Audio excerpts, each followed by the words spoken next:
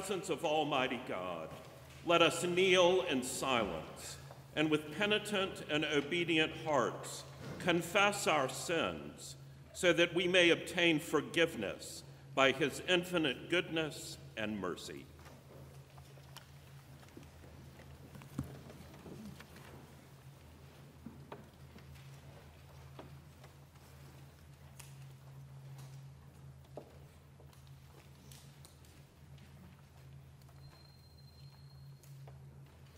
Almighty and most merciful Father, we have erred and strayed from thy ways like lost sheep. We have followed too much the devices and desires of our own hearts. We have offended against thy holy laws. We have left undone those things which we ought to have done, and we have done those things which we ought not to have done. But thou, O Lord, have mercy upon us Spare thou those who confess their faults. Restore thou those who are penitent. According to thy promises declared unto mankind, in Christ Jesus our Lord, and grant, O most merciful Father, for his sake, that we may hereafter live a godly, righteous, and sober life, to the glory of thy holy name. Amen. The Almighty and merciful Lord grant you absolution and remission of all your sins, true repentance, amendment of life, and the grace and consolation of his Holy Spirit. Amen. Please stand.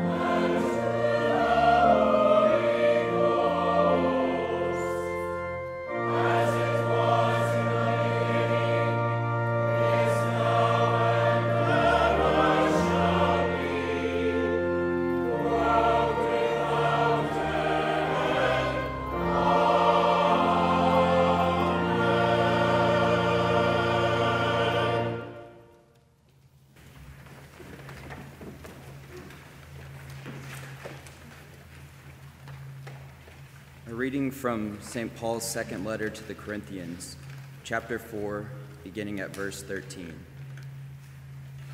Since we have the same spirit of faith according to what has been written, I believed and so I spoke. We also believe and so we also speak, knowing that he who raised the Lord Jesus will raise us also with Jesus and bring us with you into his presence. For it is all for your sake so that as grace extends to more and more people, it may increase thanksgiving to the glory of God. So we do not lose heart. Though our outer self is wasting away, our inner self is being renewed day by day. For this light momentary affliction is preparing us for an eternal weight of glory beyond all comparison, as we look not to the things that are seen, but to the things that are unseen. For the things that are seen are transient the things that are unseen are eternal. The word of the Lord. Thanks be to God.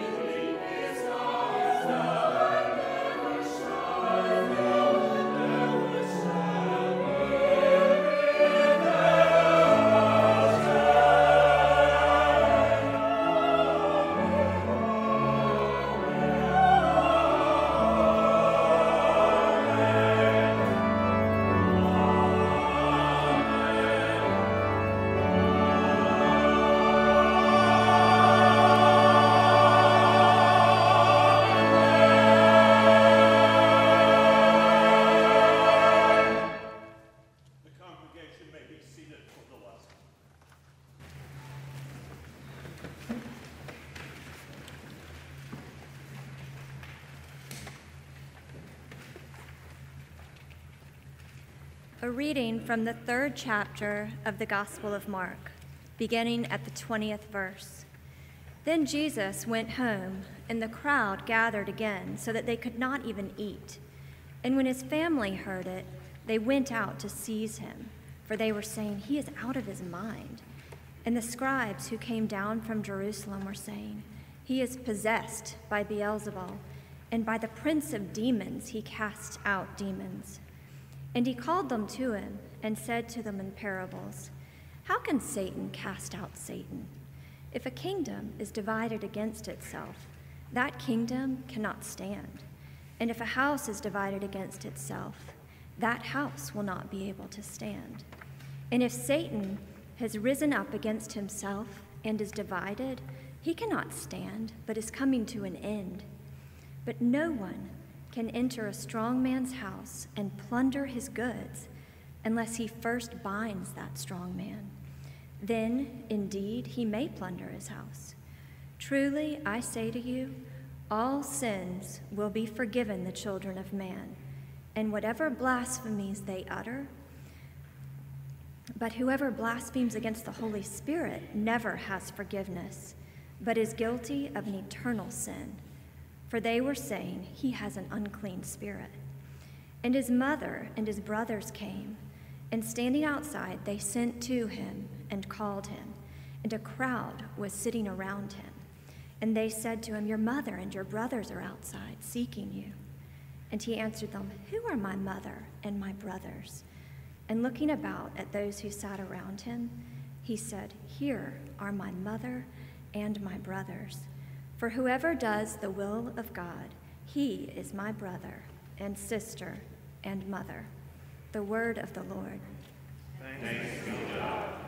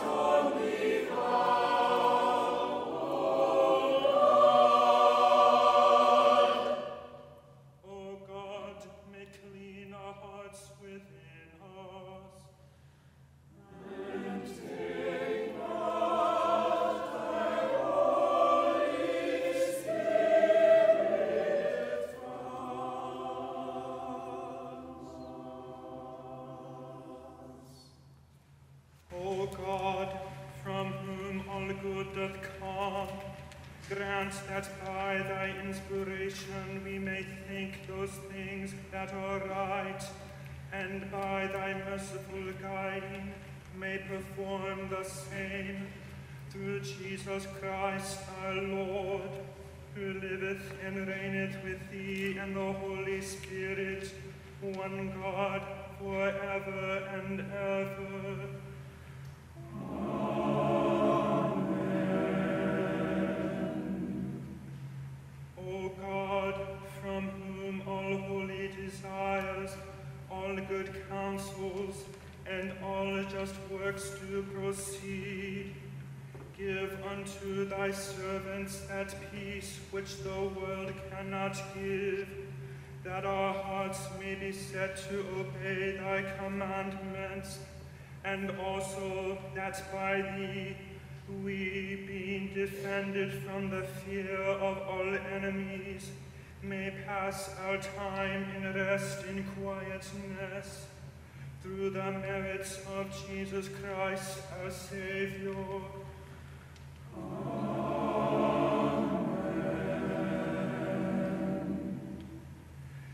Lighten our darkness, we beseech thee, O Lord, and by thy great mercy defend us from all perils and dangers of this night, for the love of thy only Son, our Savior Jesus Christ.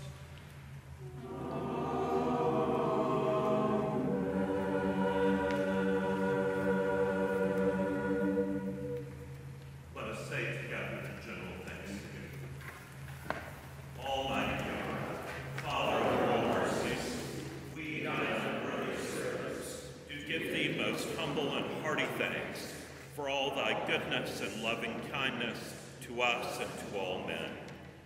bless thee for our creation, preservation, and all the blessings of this life, but above all for thine inestimable love in the redemption of the world by our Lord Jesus Christ, for the means of grace and for the hope of glory.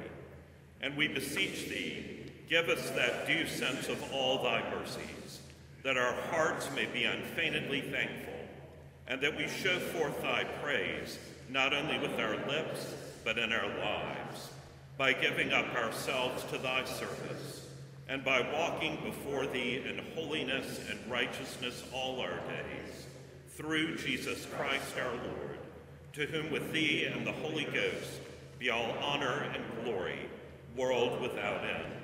Amen. Almighty God, who has given us grace at this time with one accord to make our common supplication unto thee, and hast promised through thy well-beloved Son, that when two or three are gathered together in his name, thou wilt be in the midst of them.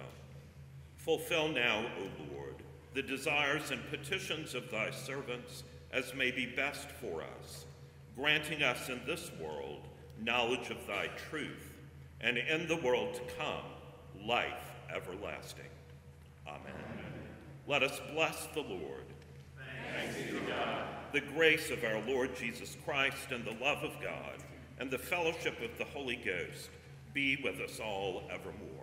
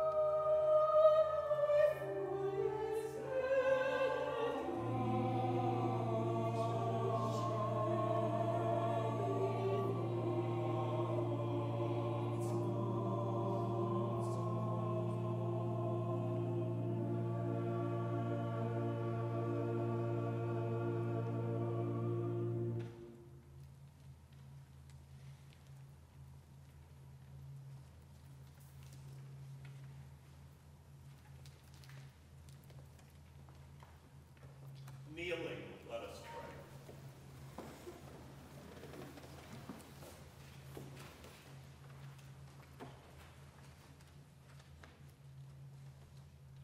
Grant, we beseech thee, Almighty God, that the words which we have heard this day with our outward ears may, through thy grace, be so grafted inwardly in our hearts that they may bring forth in us the fruit of good living to the honor and praise of thy name through Jesus Christ our Lord. Amen. O God, our King, by the resurrection of your Son, Jesus Christ, on the first day of the week, you conquered sin, put death to flight, and gave us the hope of everlasting life. Redeem all our days by this victory. Forgive our sins, banish our fears, make us bold to praise you and to do your will, and steel us to wait for the consummation of your kingdom on the last great day through the same Jesus Christ our Lord. Amen. And now may the peace of God, which passeth all understanding, keep your hearts and your minds in the knowledge and love of God, and of his Son, our Savior, Jesus Christ the Lord, and the blessing of God Almighty, the Father, the Son, and the Holy Ghost be upon you and remain with you always. Amen. Amen.